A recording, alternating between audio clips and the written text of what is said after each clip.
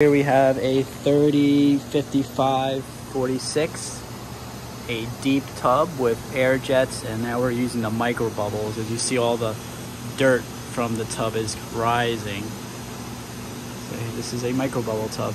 This tub is 46 inches high,